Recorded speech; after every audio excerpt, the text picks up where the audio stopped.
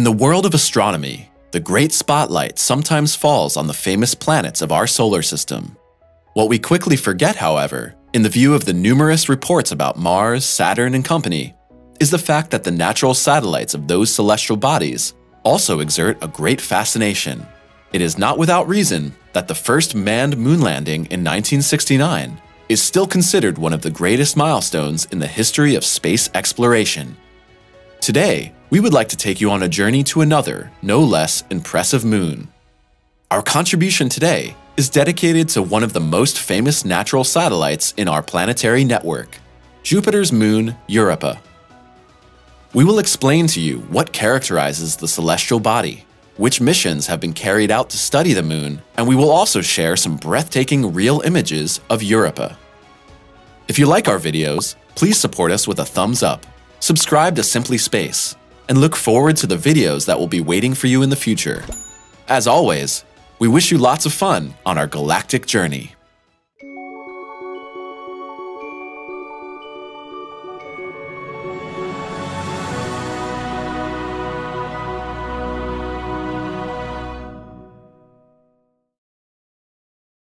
Europa, constant companion of the largest planet in our solar system. Europa joins the long list of Jupiter's moons discovered so far. The celestial body of the Galactic Society enjoys at least 78 further natural satellites of Jupiter. The fixed planet of all these moons is also the largest planet in our solar system. In detail, the equatorial diameter of Jupiter amounts to an incredible 143,000 kilometers.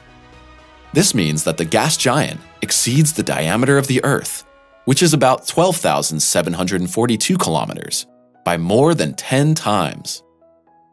In the past, NASA has carried out several space missions in the course of which numerous findings about the giant planet and its moons were gained. The unmanned Pioneer probes gave mankind the first real photographs of Europa in the early 1970s. However, these were still extremely blurred images on which only a few details of the moon's surface could be made out. A few years later, the Voyager space probes again traveled to the immediate vicinity of Jupiter and supplemented the existing images with much sharper images of the natural satellite. The largest mission to date to investigate Jupiter's moon began in 1995 when the Galileo spacecraft entered Jupiter's atmosphere to study the giant gas planet and its moons over a period of eight years. During the project, which came to an end on schedule in 2003, Galileo took countless photographs that helped scientists to understand the nature and characteristics of Jupiter's moon, Europa. Currently, the Juno spacecraft is in the vicinity of the gas giant, from where it provides the experts on Earth with countless valuable information. Before we dedicate ourselves to some of the most amazing photos of Jupiter's moon, we would first like to give you a brief overview of the natural satellite by addressing the question, what do we know about Europa? The discovery of the Galilean moons. In terms of its dimensions, Jupiter's satellite hardly differs from our Earth's moon. While the equatorial diameter of the constant companion of our blue home planet is about 3,474 kilometers, Europa is only slightly smaller, with a diameter of about 3,121 kilometers. With its size, Europa is also the sixth largest known moon in our solar system. While Jupiter's satellite and the Earth's moon are similar in size, the celestial bodies differ significantly in terms of their composition. Europa is classified in the ranks of the so-called icy moons. These are natural satellites whose surfaces as the name of the corresponding category suggests, are largely made of ice. It's therefore not surprising that the thermometer on Europa never exceeds the value of freezing cold, negative 150 degrees Celsius. We humans have known about the existence of the moon of Jupiter for many centuries. It was the famous Italian scholar, Galileo Galilei, who first discovered the natural satellite of the gas giant Jupiter the universal researcher not only discovered Europa in 1610, but also discovered the moons Callisto, Io, and Ganymede in the same breath, which is why these celestial bodies are still known today as the Galilean moons. Like so many other planets and moons in our solar system, Europa was named after a figure from Greek mythology. According to the legend, this is a beautiful king's daughter who even won the heart of Zeus. In the starry sky, Europa shines so brightly that the moon of Jupiter can even be seen with simple binoculars. The fascinating nature of Europa. The average distance between Jupiter and Europa is more than 670,000 kilometers. Jupiter's satellite travels around its fixed planet in an almost circular orbit. It takes about three and a half days until Europa has completely orbited Jupiter. During this time, Europa, just like our Earth's moon, always turns one and the same side towards its galactic fixed points. At the poles of the icy moon, however, it is particularly cold. Here, the average temperature is a frosty negative 220 degrees Celsius. With a surface area of 30.6 million square kilometers, the celestial body is about as large as the African continent. Although the surface of the natural satellite is mainly composed of ice, it shimmers strikingly reddish in some places. This coloration is due to the different minerals that have been deposited in the soil of Europa.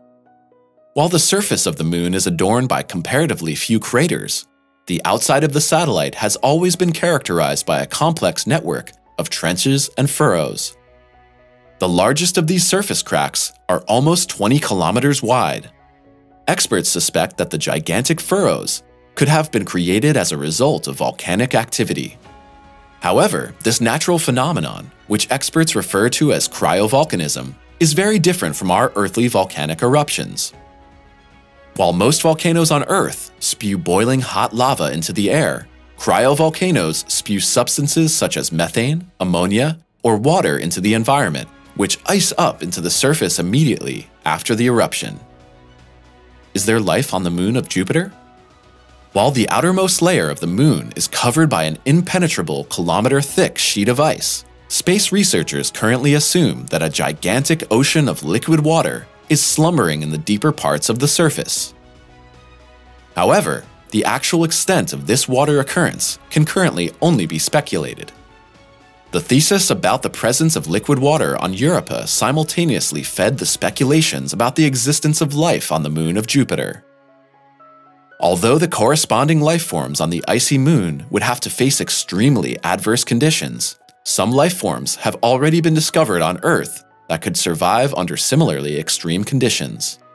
Some researchers, however, bring the fact into the field that the large sulfuric acid occurrence on Europa makes the existence of organisms very improbable. Also, the strong radiations of Jupiter, which regularly meet Europa, would make the development of life clearly more difficult. Now that we have given you a brief overview of the main features of Jupiter's satellite, we would like to conclude by taking a closer look at some official photos of the Moon.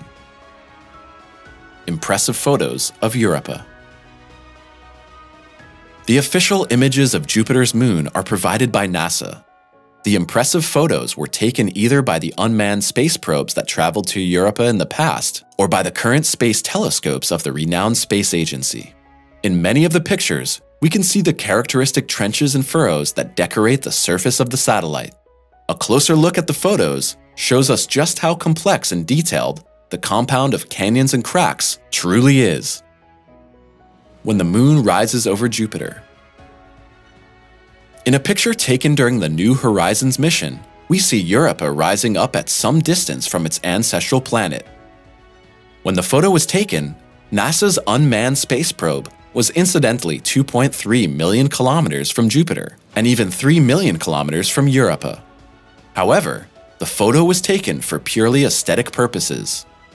Because even NASA's renowned scientists seem to have a penchant for beautiful motifs. Breathtaking play of colors on the surface of the moon. Images showing the moon of Jupiter in all its galactic splendor give us once again a detailed overview of the inimitable surface quality of Europa. The high-resolution photos taken during the Galileo project present us with the incomparable coloration of the natural satellite. In order to optimize the corresponding photos for our human eye, the images have been digitally processed without changing the structural composition of the moon. On the surface of Europa, We can therefore recognize a wide variety of structures, all of which have different coloring. The different colors of the ground are again explained by the material composition of individual areas. For example, those regions where especially pure water ice is found appear bluish to white. However, where ice is present in comparatively small quantities, we see red-colored areas. A detailed insight. While the colorful surface structure of Europa uh, is already extremely fascinating when viewed as a whole, the exuberant richness of detail on the outside of the moon becomes even clearer when we look at some NASA images that illuminate the individual orbits and structures on the surface even more closely. Here we can see not only the white areas of the water ice, but also the reddish regions, where large amounts of magnesium sulfate and sulfuric acid are found. Did you like our video about Jupiter's moon, Europa? Then show us with a thumbs up. Which picture of the moon impressed you the most? We're already looking forward to reading your opinions, suggestions, and ideas in the comments. Thanks so much for your great interest. Take care, and see you next time.